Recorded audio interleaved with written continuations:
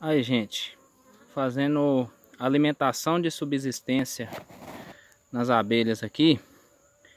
Isso aqui é uma solução de água com açúcar na proporção 1 por 1. O que que acontece? Vou dar uma afastada aqui para explicar para vocês. Então, gente, criar abelha é igual criar gado leiteiro. Tem épocas no ano que tem flores, tem épocas que não tem.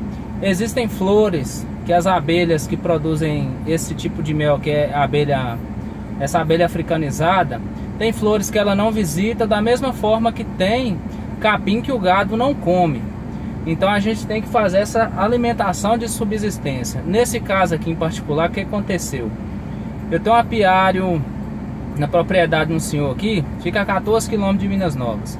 Pegou essa chuva do dia 22 para cá, aí é, quando tá chovendo, a abelha não sai da caixa, ela fica comendo o que tem lá dentro.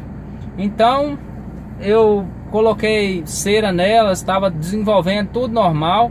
Foi até antes do dia 22, né, que foi no dia do carnaval que começou a cair a chuva e estava tudo normal. Aí começou a chover, elas pararam de puxar cera, a rainha parou de fazer postura e os enxames encolheram. Aí a gente tem que entrar com essa alimentação de subsistência. Igual aqui, ó, tinha uma outra, essa que eu filmei aqui não, ela tá, ainda tá desenvolvendo, ela ainda falta quatro quadros para puxar para o ninho ficar completo. Então, enquanto enquanto tá precisando de completar o ninho, a gente vai fornecendo essa alimentação até ela completar. Completou o ninho e e não tem mais, e tá tendo florada, a gente corta a alimentação, aí já começa a empilhar as melgueiras, que é o que vai colher o néctar da natureza.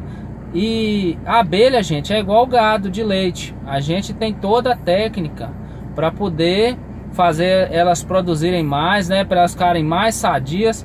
É igual a vaca. A vaca, se ela não estiver alimentando direito, nem no cio ela não sai. Se ela não sai no cio, ela não vai gerar o bezerro. E se ela não tiver bezerro, ela não vai dar leite. Então, a abelha é o mesmo jeito. Se não tiver flor, ela a rainha não bota. E se não tiver ovos, não tiver larvas, não vai nascer abelhas novas e o enxame vai encolher. Então não vai produzir. Então tem toda uma técnica, né? Eu já fiz curso do Senar, já fui para Bahia fazer o curso de manejo avançado e tudo. Então são técnicas que a gente usa. Agora, igual mesmo muitos existem apicultores que são canalhas, que adulteram o mel daquela maneira ali. Então você tem que adquirir o mel de pessoas idôneas, pessoas profissionais que trabalham com profissionalismo e seriedade. Então, e olha para você ver, quando a gente pede 25 reais num quilo de mel, a pessoa acha caro. Olha para você ver, é a segunda vez que eu tô vindo aqui hoje. Porque eu vim mais cedo, achando que eu ia trocar cera, alguma coisa, e me deparei com os favos tudo seco, elas comeram tudo. Aí o que, que eu tive que fazer? Voltar para trás para trazer alimentação de subsistência para elas. Então quer dizer, eu já rodei 28, 56 quilômetros hoje, gastei combustível e desde dezembro eu tenho essas abelhas aqui que eu comecei a fazer as capturas aqui, montando um novo apiário.